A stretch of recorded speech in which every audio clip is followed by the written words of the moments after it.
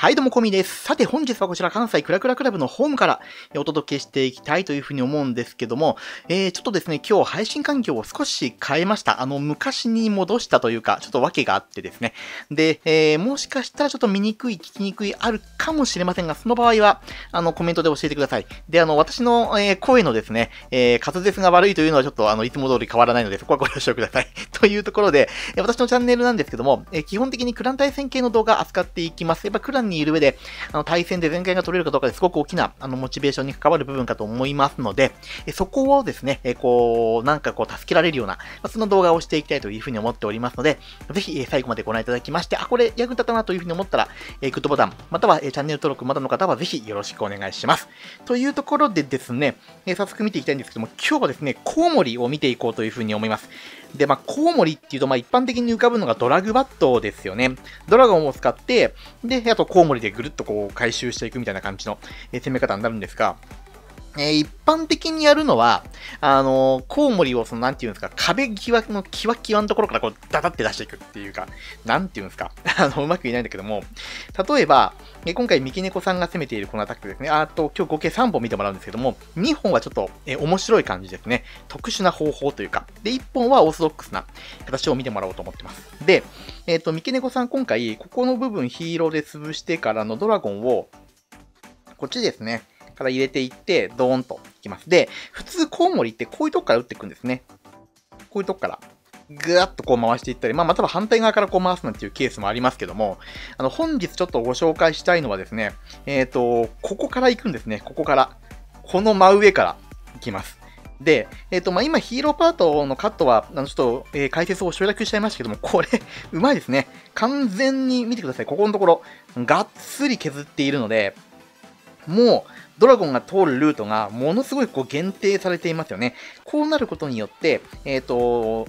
エターナルドームの、かかるこのエナジーサークル内にきっちりドラゴンが集まります。ちょっとこれ、え、サイドカットのドラゴンをですね、本当は多分こちらの面からも当てていって、こちらの面からも当てていって、ここにこう集合させる形にしたかったと思うんですけども、ちょっとうまくいかず、ドラゴンが何体か逸れちゃいましたね。ただこの状態で、あとウィズトがここに1本残っていて、で、えっと、中央投石機にで、こっちの端っこにも1個。で、え12時側のウィスト。この4個が今、コウモリ使う上で怖い施設になっていますね。で、中央に関してはドラゴンが処理していってくれて、さらにこちらのえー、3時側の、えー、ビストにもドラゴンがアプローチを仕掛けてますので、こうなると、投石機の真上って実はご存知でした？これね、あの、攻撃入んないんですよ。あの、真上って。えー、イーグル砲とか迫撃砲と同じですね。なので、ここにコウモリの呪文を打つことによって、横のビズ島もその部分にはあんまりこう、えっ、ー、と手を、手出しができないような部分になってくるので、ノーダメージ、まあ、ほぼほぼノーダメージでこう、コウモリが透析機を壊してくれます。で、これが壊れた瞬間に、まあ、怖いウィズ島にしっかりとフリーズかけて固めまくっちゃえば、もうこれで、えー、ウィズ島もそのままフリーズの状態のまま折ってしまって、えー、勝負ありという形になります。このですね、あのー、透析機の直上、えー、コウモリっていうのは、あの、フリーズの呪文2個分ぐらいを節約できるので、相当、あの、効果としては大きいです。ぜひですね、あの、使ってみてもらえたらなというふうに思います。これ、あのー、できるとですね、呪文額がその分0時に下げたりしますんで、こんな感じでドラゴンが超残ってますよね。ちょっともう一回見ていきましょうか。あのー、ヒーローパートのところっていうのを少し、えっ、ー、と、おろそかにしちゃったんで、そこも、あの、ドラゴンをやっていく上では、まずこれが重要ですね。あの、ライトニングからのクエイク、まあ、どちらからでもいいんですけども、クエイク先に打ってライトニングっていうパターンも結構あるかな。あの、ロイヤルチャンピオンでこの、ね、施設をホーミングシールドで壊しやすくするという効果があります。で、えっ、ー、と、この、え、マルチインフェルノのところに、えスーパーウォールブレーカーを当てていって、アーチャークイーンをそっち側に通していきたいという意図ですね。で、ロイヤルチャンピオンはこの表面の部分、ここをしっかりこう削って、確実にこの、えー、なんだ、クロスボウ、あとインフェルノタワーにアプローチできるような形を作ってから投入していくっていう、このあの順番もすごく落ち着いていますね。あの、ロイヤルチャンピオンついついね、あの、焦って出してしまいがちなんですけども、それを我慢することによってこういう風にしっかりとロイヤルチャンピオンの、えっ、ー、と、ルートっていうのが確立されます。おまけに、えっ、ー、と、ロイちゃん、まだ体力緑ゲージのまま、えシングルインフェ、シングルでねえわ、えー、陸のクロスボとかにこうアプローチしてますね。すごくいい仕事をしてくれてます。エアスイーパーまで折ってくれたんで、結構これは大きかったんじゃないかな。ドラゴンのルートがかなり、えこれで狭められましたよね。えっ、ー、と、そのままあとは、ね、ドラゴンパートの進行をレイジの呪文を使いながらどんどん押していって、で、えっ、ー、と、ターゲットになってくるのは透析機、あとは、マルチインフェルノだったり、ウィズと、こういった、えコウモリを一度に全部焼いてしまうような、えそういう施設です。これらをケアしていきつつコウモリを撃っていくっていうところですね。いや、これはすごかったな。めちゃくちゃなんか最近ね、ミケさんが今の環境に適応しまくってると、というか、なんていうの、多分この、この適応の仕方っておそらく今の環境とか関係なしに、クラクラのそのなんか、うんと、プランニング力がめちゃ上がってるような気がしますね。レベルがすごい高いというか、今回のそのクラン対戦リーグも、まあ、自分らチャンピオン2にいるんですけど、あの、1戦目、ちゃんと全開取ってますからね、ものすごい、あの、余裕のある、あの、サビ周編成というか、あの、ネクロ、えー、マンスターとバット出すやつで、いってますんで、マジでうまいですね。ちょっと、あの、これ、僕よりも下手するとうまいかもしんない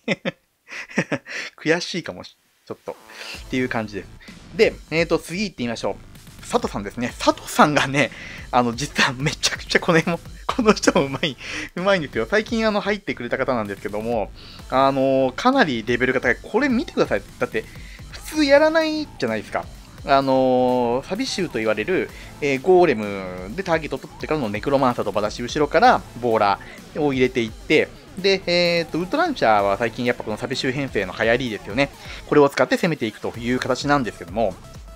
まあ、まあ、一応理屈上、なんていうんですか、ウィズトンがこのラインの上に全部固まっている、まあ、1個ここにありますけどね、ほぼ固まっているということと、あと、インフェルノターバーが全部シングルなので、えー、ネクロマンサー系の攻めが刺さりやすいっていうのは、まあ、もちろんあるかと思います。まあ、コウモリも、やっぱりシングルインフェルノって相性いいですからね。っていうのは、まあ、理屈上あるんですけども、まず、えっ、ー、と、ここの、えー、区画にしっかりと、えヒーローだったり、ネクロマンサーだったりっていうのを入れていくっていう、このまずテクニックですよね。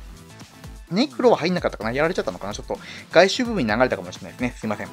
入れていくっていうまあスキルと、かつ、えこの透析機のところ、えどこのタイミングでコウモリを出していくかっていうのを見てほしいんですけども、コウモリ6個ですよね。やっぱクロスボウとかの体力が結構高いんで、中途半端なコウモリの数だと突破に時間がかかってる間に全部やられちゃうというケースがあるので、ロイヤルチャンピオンでしっかりここを投石のタゲを取っている間に、また取らなくてもよかったんでしょうけどね。ロイちゃんで、えっ、ー、と、破壊していくのをコウモリでサポートする感じですね。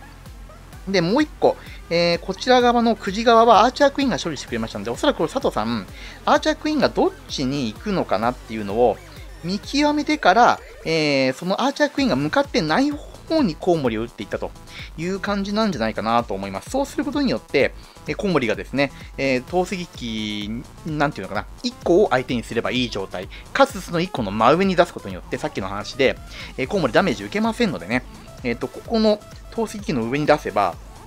えー、このコウモリを焼いてしまう要素がある防衛って、この、えーと、ウィズトだけなんですよね。でもそこのウィズトは、上から来ているヒーローとか、あのイエティとかに、えー、よって、タゲを取られているないしは壊されているので影響ないということで、ここから出していくっていう感じですね。で、おそらくだけども、うんと、ロイヤルチャンピオンを今回、こちら側から入れていったのは、入れることによって、えっ、ー、と、3次元の施設をカットしていく。そうするとコウモリがばらけずにちゃんと、出したコウモリがみんなこういう風に回っていくっていう感じですね。これがこう二手に割れちゃうと、これあんまよろしくないので、二手に割らせない、ちゃんと一方通行に進んでいくようにロイヤルチャンピオンでこの辺のカットをしていったんじゃないかなっていう風に思います。だからそういった意味では、この一瞬の見極めがすごいですよね。これ1分50秒かからないぐらいの40秒ぐらいかの前回だったってことなんですけど、ちょっとまあ順を追って見ていきましょうか。確かにあのバットスラップっていう戦術は昔あって、あのネクロマンサー、大量の、えーと、ネクロマンサーにヒーラーをつけてどんどんどんどんご了承する、え、っていうやつはあったんですけども、これクエイクを使っているのはタウンホールのダメージを入れるのと、この壁を、えー、突破しやすくするためですね。ウッドランチャーがやっぱりその奥の壁って、そうは言ってもなかなか開けてくれにくいので、まあ、そこを、え開けやすくするために、クエイクを使ってあらかじめ壁にダメージ入れておくというところですね。で、えっ、と、ウッドランチャーによって壁が開きました。で、えっ、と、この順番的にはあれでしたね。えネクロを両側に出してからボーラーっていう感じでこんな風に出してましたね。こんな風にボーラー、ボーラーっていう感じで。ポイントはやっぱりアーチャークイーンをしっかり中央に入れること、あとボーラーを中央に入れることだったのかなというふうに思います。ネクロマンサーも完全にこれ両サイドに流す構えでしたね。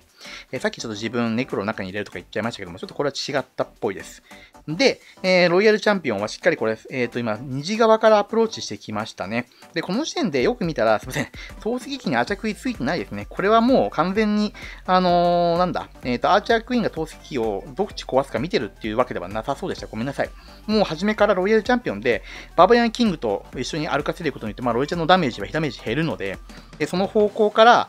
ロイヤルチャンピオンを出す方向からコウモリを打っていくっていうことによって全体をまとめて、え9時方面から流し、9時方面に流していき、まあ最終的には6時で、え着地させるという形ですね。コウモリが全部やられた。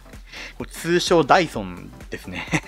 あのダイソンさんの強力な、えっ、ー、と、吸引力みたいなイメージで、あのー、なんだ、えっ、と、コウモリが全部やられていくのをイメージしてるんだと思うんですけども、やばかったですね。まあ、ただ、えっ、と、最後見てもらって分かるように、ネクロマンサーも大量の、あ、スケルトンか、もう大量に残ってるんで、もうこれ数の力で押し切ったっていう、まあ、そんな感じでしたね。わずか1分30秒のものすごい、えー、高速な全開プレイ、お見事でした。というところで最後の1本ですね、つむぎ組さんから見ていきたいというふうに思います。はい、ではこちらですね、見ていきたいというふうに思うんですけども、えーと、ガイハジさんとの、えーと、触れ戦ですね、の中で1本あったドラグバットなんですが、これの方が割と比較的、なんていうのかな、えーと、オーソドックスなドラグバットの形になるのかなというふうに思います。なので、えーと、これをですね、えーと、まずは基本としながらさっきの、えー、透析の真上のバージョンっていうのも、あの、参考にしてもらえたらというふうに思うんですけども、まあ、必ずしも透析機の真上に出すってわけではないってことですね。透析機器の真上に出すことが効率的な場合はそっちに出すと。しない場合には、えー、壁際から出すって、まあ、この使い分けですかね。タウンホールに関してはきっちり突撃艦でネタ破壊していって、これうまいですね。めちゃくちゃ綺麗にあのタウンホールの処理が、しかもローコストで終わっているっていうのが、あの、魅力的な、えー、序盤の入り方だったかなというふうに思います。ロイヤルチャンピオン、この相手のロイちゃんと当たるところで倒れちゃうんですけども、もうお役御免っていう感じですね。あの、ドラゴンがすごく密集して動いているので、まあ、このドラゴンたちとバルーンたちに関してはもう、えっ、ー、と、しばらく、えー、止まることはないでしょうという感じです。タウンホールが壊れてるの大きいですね。で、えっ、ー、と、エアーチャークイーン、バーバリアンキングで、えっ、と、このサイド方向、12時方面のサイドの方をカット決めていって、ドラゴンのルートはまこんな風にですね、誘導していくイメージになっていきます。相手の防衛援軍はちゃんとレイジをかけながら処理していって、コウモリ今回7発なんですが、えフリーズ4発と合わせてどうやって打っていくのかというところをぜひですね、注目してみてもらえたらというふうに思います。バーバリアンキング落ちましたが、まあ、バルーンとドラゴンの数がまだ残ってますね。ただ、このシングルインフィは多分突破できなさそうと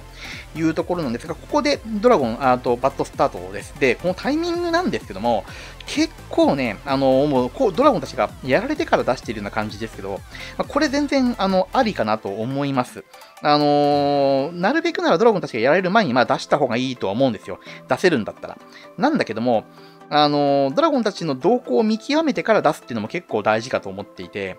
あの、今回みたいにドラゴンたちがどこの施設を壊してくれて、どこが壊れないのかっていうのもちゃんと見てからですね、え出すことによって、えっ、ー、と、コウモリの方が先行しちゃって、例えば、えっ、ー、と、ウィズ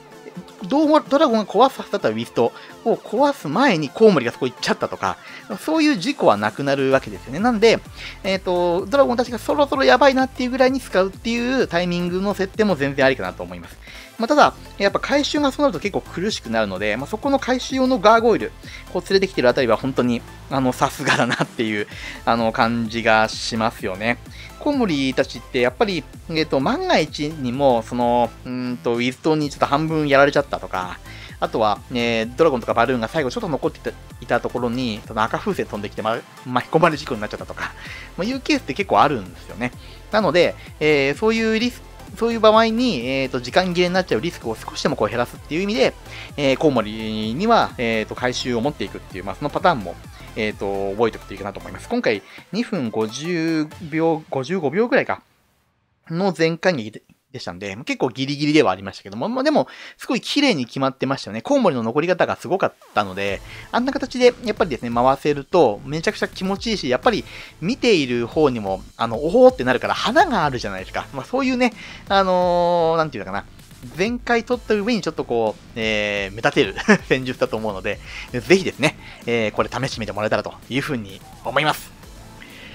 というところでいかがでしたでしょうか？本日は、えー、コウモリ戦術中心に見てまいりました。これ参考になったなというふうに思いましたら、ぜひグッドボタン、えー、またはチャンネル登録の方もよろしくお願いいたします。えー、そして、そして、私のチャンネルですね、タウンホール13だけではなくて12、11と幅広いタウンホール帯を扱ってまいりますので、これからもぜひ、対戦でちょっとね、不安な部分があるとかいうお悩みがある方はぜひ、